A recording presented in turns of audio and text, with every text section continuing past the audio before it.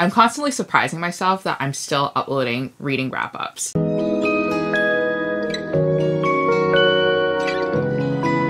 Hi guys, welcome back to my channel. Now for today's video, I'm doing my May reading wrap up. The reason why I said I'm still surprised that I'm still doing reading wrap ups is because I normally typically don't do reading wrap ups and for three months consistently, I have posted reading wrap ups. I have two videos that I did want to make sometime in the future. One of the videos you guys probably already know, which is the one that is summer vacation book recommendations. It's books featuring travel for those of you who can't travel this year and who want to escape through books. Another video that just sprung into my mind recently is one that is books on my radar. So these books are trending books on TikTok. I've seen it everywhere on BookTube. Maybe I even saw it on Bookstagram. And they're books that I'm keeping at the near top of my TBR list simply because they are trending books. I thought that video would be pretty interesting for those of you who always feel out of the loop in situations, always feel that, and they only realize that it's a popular book like a few months after everybody has already finished talking about it. I think that that video would be very helpful for people like me because I find that I'm always behind on the trend for most of the times and I don't even know that books are trending until after it finished trending. So let me know in the comments down below if those two book videos are something that you want to watch. Let me know which one you want to watch first. But we're going to get started with a May reading wrap up for this one. In the month of May, it was the Asian Heritage Pacific Islander month. And you guys know that I love reading books about my culture, books about other Asian cultures, and just learning about different cultures overall. And I did ask you guys if you guys wanted to watch a separate video featuring Asian authors with recommendations to add to your TBR. Unfortunately, I never really got time to it. But for this video specifically, it does include a lot of Asian authors because in the month of May, I obviously mostly focused on Asian authors. Okay, so I think the first book that I'm going to wrap up is this romance novel that was released last year and it was on the top of my radar, but then I just never got around to reading it. And this one's called The Donut Trap by Julie Tieu. Now, if I remember correctly, I think it's about a Colombian Chinese family and they move to America to start a donut shop and the donut shop is their main source of income and our heroine is not our stereotypical Asian character. She did go to university but unfortunately for her she didn't find a job right away after graduation. She kind of fell behind on her career so she has been helping around in the donut shop and she feels that she is not like the perfect daughter that her parents envisioned when they first, you know, when they had her. So she always is comparing herself and what she lacks to her peers because her peers are young, successful, rich, and bright. Meanwhile, she is just trying to create donuts and market them so that the family business stays alive. And it's there in college where she meets a cute boy and then after graduation, and then she has worked in the donut shop for a couple of months, for a couple of years, whatever she sees the boy again and then that's when their relationship kind of just starts. Anyways, this book I gave it a 3 out of 5 stars. It fell below my expectations because I wanted a little something more juicier. I wanted more drama, but I would highly recommend this book to you if you guys are looking for a book with less drama. It's kind of just a calm, sweet narrative of two people liking each other. Obviously, involves a lot of yummy donuts and a lot of yummy Asian food. Okay, so the next book that I want to wrap up is this one that is not from an Asian author, but it was one that was on my radar for a very, very long time simply because I found it on TikTok. It was, I think, previously released in Dutch first, and then they English translated, and the English version was recently released. And I wanted to read this book so bad because it sounded so freaking interesting. It's basically about a moderator for social media, so think Facebook, and when you report a post, yes, it's like the algorithm, it's like the system, it's like everybody kind of just reviewing it and deciding whether or not it's a violation of the community guidelines, and then they take it down, right? But behind the scenes, there's actually someone who actually does it. It's a human moderator that actually reviews these posts day to day, and they unfortunately have to see a lot of traumatizing stuff a lot of weird stuff. So this book called We Had to Remove This Post by Hanna Bervoets and Emma Rault is specifically a novella centering around these moderators in social media and the most gruesome and horrific things that they have seen at their jobs. And yes, there are some things that they do describe that is a little bit triggering, but they don't really go too much in detail about it. Mostly it's about how our moderator lives her day to day life. It's a fiction novella, but obviously it's based on true events. And it's also about our moderator character falling in love with another moderator and then realizing that her own values and her own ethics and her own morals are being somewhat corrupted by these terms and conditions. Overall, I thought the story was somewhat interesting. It definitely wasn't what I expected because I thought that this one would be a nonfiction novel involving more specific examples of what moderators tend to see on a day to day basis. And it just fell short of my expectations, and I ended up giving it a 2 out of 5 stars. The next book that I want to talk about is this one called K pop Revolution by Stephan Lee. And this one is a continuation of his series called The K pop Confidential series series. Now, I read K-pop Confidential last year and it's essentially about a Korean American girl debuting in a girl group for one of the biggest Korean entertainment companies. And then she quickly realizes that the K pop industry is severely toxic. It's not good for your mental health. It's not good for your physical health. And we kind of end off in this like one explosion of a scene where she reveals this to the whole like K pop community and also to like the whole wide world. So there's a lot of drama circling her. And now this book follows up on that drama. What are the repercussions of her exposing her company like that? Will she still be able to debut.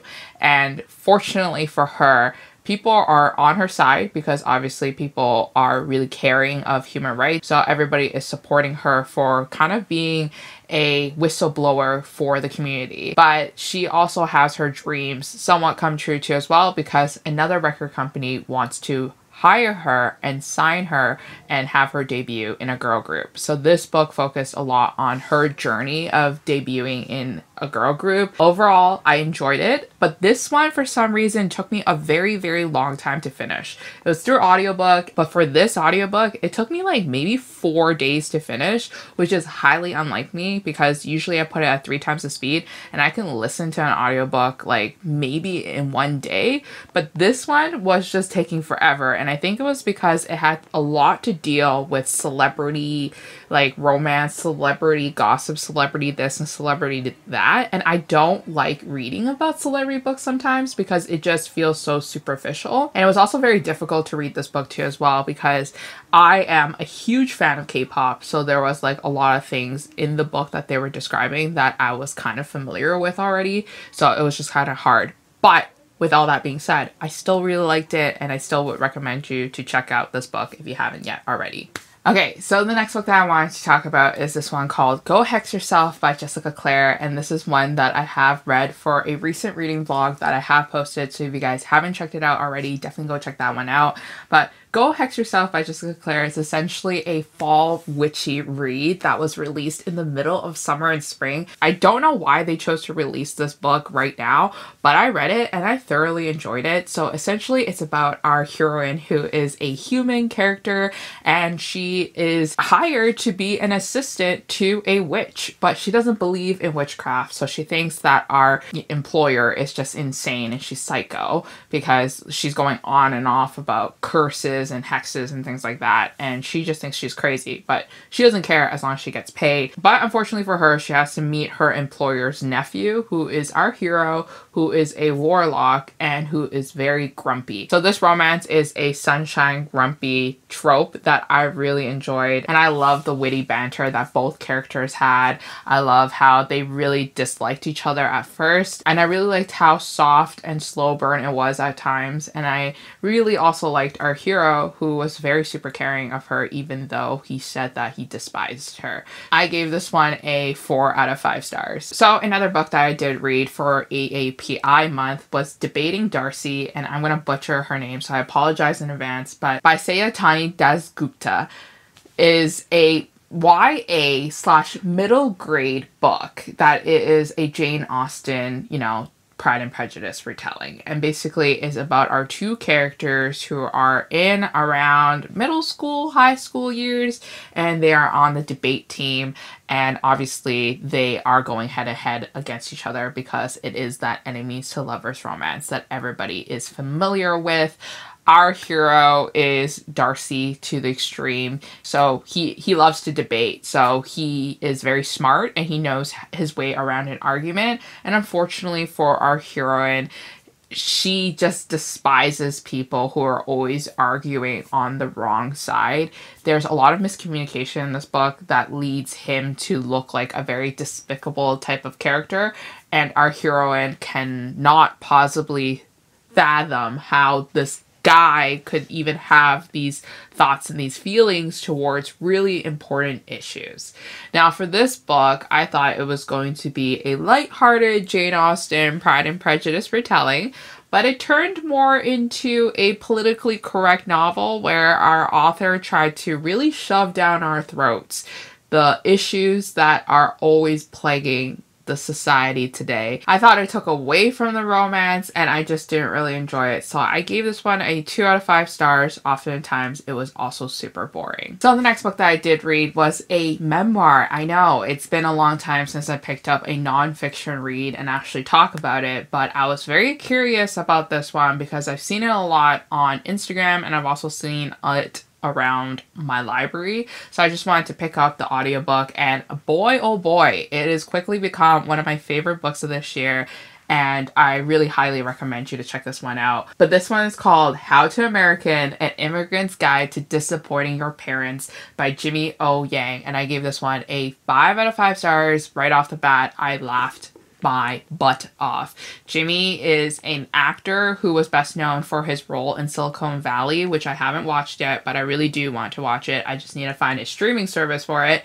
But he's also been in movies like Crazy Rich Asians, and I fell in love with his character in that movie. So obviously, I wanted to pick up his memoir, and it's so freaking good. I think this book really resonates with first generation immigrants, especially, and for like families that are in China, and like he knows Cantonese, he knows Mandarin, and he grew up with the Chinese culture. So listening to his experience of growing up in elementary school in Asia Asia and having to immigrate to America and learn to adapt to American society, learning to learn English, learning how to be thug, learning how to be cool, learning how to lose his accent, learning how to imp- impress the, his parents by going to a Ivy League school and then disappointing them when he wanted to focus on acting is like a whole journey and a half. I really thought it was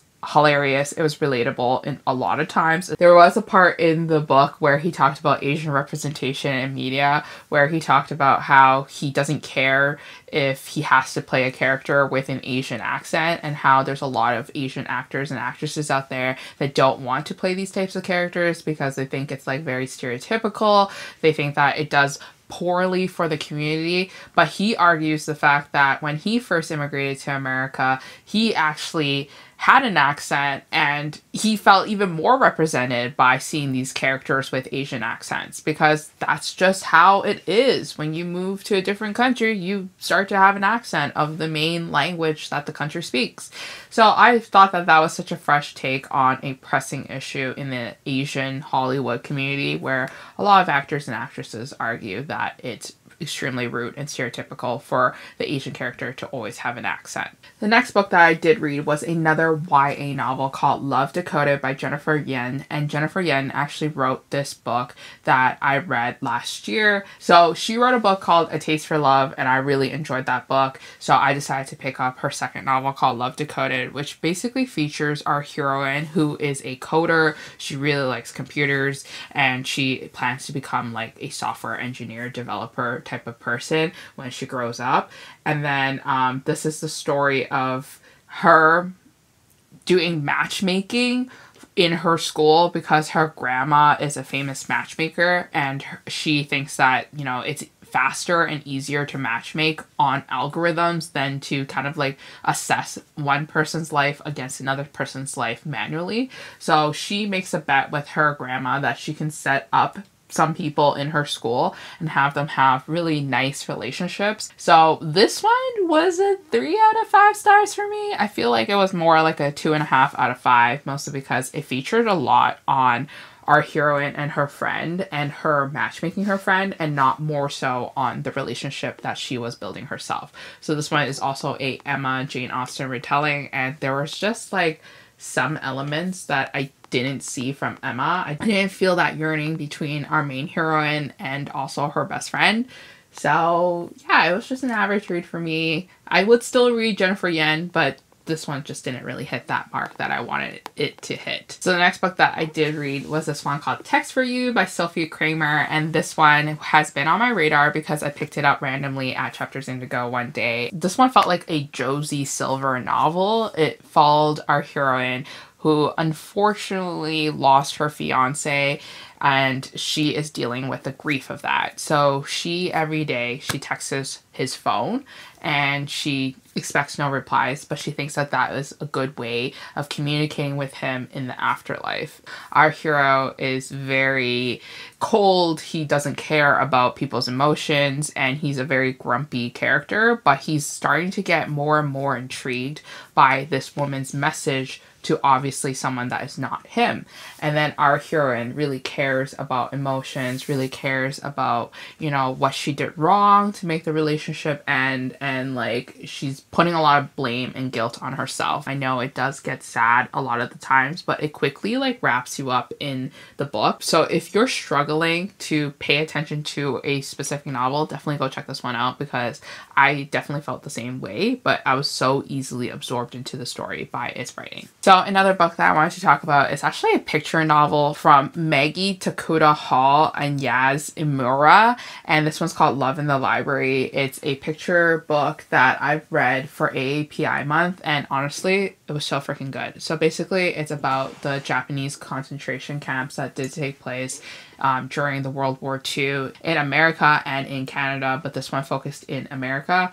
And basically, it's about our two characters meeting in the library. And then it's about the injustice of it all, about them being stripped away from their rights, being pegged as aliens to the country, and having you know, people turn their backs on them and them losing everything that they've had before the war and then after the war they kind of returned to nothing. So it's really sad but it was a really like sweet novel about the two characters falling in love.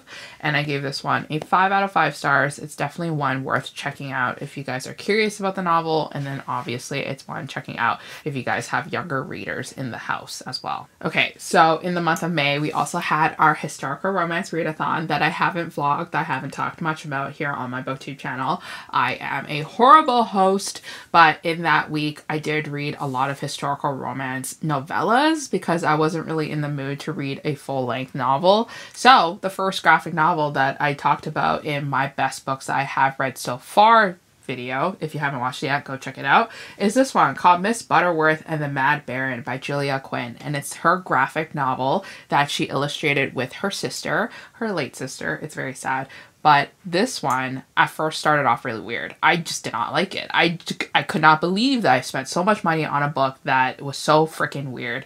But then I read it and I thoroughly enjoyed it. Basically, it's about our heroine. It's a Cinderella retelling, basically. Our heroine gets casted away, gets put into a family, and she is being forced to be a maid. She has to be a slave for them. She finds her escape, and then she goes and she meets our hero, and they have a liking to each other. And she is like basically the maid of the house, but he can't keep his hands and eyes off of her because he's just really attracted to her. And then there's a mystery involved because unfortunately for our hero, his previous wife passed away mysteriously and it's about the readers figuring out like what actually happened to the wife. There's also villainous characters in the graphic novel that come springing out of nowhere. It was just really cute in the end too as well and I really liked it. So definitely go check it out. But if you guys are not willing to pay, you know, the expensive price for a graphic novel, maybe just pick it up from the library instead. Okay, another book that I did read is this middle grade novel called Room to Dream by Kelly Yang and this one essentially is front desk number three, a part of that series. And I think you do have to read book number one and book number two before you read this one. But this one was my least favorite out of all the books in that series simply because I felt that it just lacked that Kelly Yang oomph that I was looking for. Usually she like talks about a really potent issue in the community, whether it be in the Asian community or in the black community or just any pressing issue that we need to think about and social justice related. But this one just felt like it was lacking a lot. It essentially followed our heroine who was writing stories for newspapers and she kept getting rejected. But then she had a family vacation coming up, so she flies to China. And then it's there where she kind of like learns more about her culture and revisits all the places that she loved and eats all the food that she loves too as well. So I really like that aspect of it because I felt like that that was really crucial and really important for younger readers who haven't went back to the countries that they were born in so that they can learn more about themselves. But other than that, it was just kind of a very mediocre novel about our heroine kind of being a spoiled brat at times too as well. So overall, I gave this one a 3 out of 5 stars. Okay, so the next YA novel that I did read is called The Noh Family by Grace K. Shim. And this one was a K-drama retelling. I swear to God it was. Basically, our heroine does like a blood test thing. So think of ancestry. And then suddenly she gets all these messages from this person saying that they're related and that they would love to fly her back to Korea. So she thinks that this is like really strange because like she's like, I never knew my family was this big. So she goes back to Korea and she realizes that she's part of a Chaebol family. And a Chaebol family is basically a very influential, rich family in Korea and like they can basically have the power to do a lot of many different things. Her grandma is actually like the founder of a really really luxurious and you know expensive department chain in Korea and they make a lot of money there and so she has to learn the names of all her cousins, the names of her family members and then also obviously all the politics in the family too as well. So it's about her kind of exploring Korea, which I really enjoyed. So it was really entertaining, but then at some point it slowed down and I was like bored by it. And I was just kind of waiting for this book to end. But I was so glad that I never ended it or I never DNF'd it because quickly the drama picked up and it blew my mind. So I gave this one a 4 out of 5 stars. If you guys are curious to know what the drama is, definitely pick this one up. Another book that I did pick up that I really enjoyed is this one called Heiress Apparently by Diana Ma. This one is about a Chinese American young actress who gets casted for a very big upcoming Hollywood movie featuring a lot of Asian characters and actors and things like that. And the only problem is, is that her family banned her from going to China ever again. So she's quickly wondering, like, why she is getting banned by her parents in China. But then when she goes to China, she sneaks her way there without her parents' knowledge and she realizes why. Because her face is the exact face of a very popular Chinese influencer and then it's also there where she realizes that she has this huge extended family in China and they're all influential they're all rich and they just are in politics once again. It's very messy. And then our heroine is like trying to balance acting and also learning about the drama of her family. And there were so many references to Chinese history in this book that I really appreciated because there's a lot of things that I'm familiar with in China and there's a lot of things I'm not familiar with. So this one was so good and I highly recommend this one to you. Another book that I did read was this YA thriller novel called How We Fall Apart by Katie Zhao. And this one, I gave it a 2 out of 5 stars. I did not like this one. It's essentially about a group of students who are very high performers. They really care about the grades because they want to go to Ivy League schools. And unfortunately, one of them is like extremely bratty, and I just didn't like her at all. But thank goodness because she died so now this book centers around of who done it and it's like who would possibly kill the smartest girl in the class and then afterwards it focuses a lot on you know what students do to get to the top there are some inappropriate things that happen in this book. One of our characters actually ends up you know in a relationship with one of the teachers, another one does drugs, and a lot of other people just do crazy, wacky things. I just didn't really like it. I thought it was boring, I thought it was slow, and I didn't really care about who killed the girl because she deserved to die anyways. So I guess to quickly wrap up my historical romance readathon, um, I did read a couple of novellas that I think were worth mentioning. So one of them is called Once Upon a Townsbridge Story by Sophie Barnes, and I've read a lot of Christmas novellas during the historical romance readathon. Don't question me, I just did it.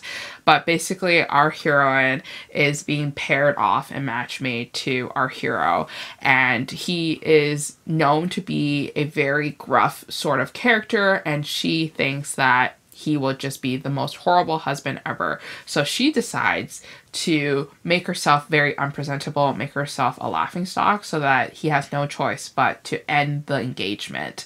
And of course, he sees right through it. And I really enjoyed this one. I gave this one a four out of five stars. I thought it was so super cute for, of him just kind of watching her do her little charade, but then quickly realizing that, you know, the real person is underneath and he's in love with her. So the next one that I did read is The Improper Proposition by Amy Rose Bennett. And this one involves our heroine who is a widow and she is of an upper class status because she's a lady.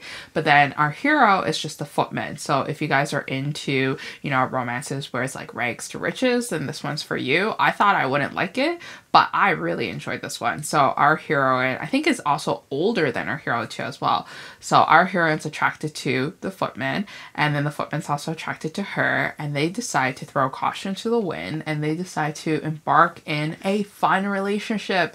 But then they quickly develop feelings for each other and it's really just her kind of convincing him that they can be something together because she doesn't care about status and she doesn't care about her reputation because she's in love. I gave that one a 4 out of 5 stars. So another book that I did read for the historical romance readathon was this one called An Indecent Wager by Georgette Brown. And Georgette Brown is going to be on my radar very soon because she writes really steamy historical romance novellas. So this one involves our heroine who loses a bet to a game of cards and then she now needs to forfeit her body so that he can you know reap his repayment and it's really hot but it just lacked a little bit of plot so i ended up giving it a three out of five stars. Add it to your tbr if you guys are looking for a steamy historical romance. And then the last one that i do want to talk about is this one called improper christmas by amy rose bennett. And now this one involves our hero and heroine meeting each other at a christmas party.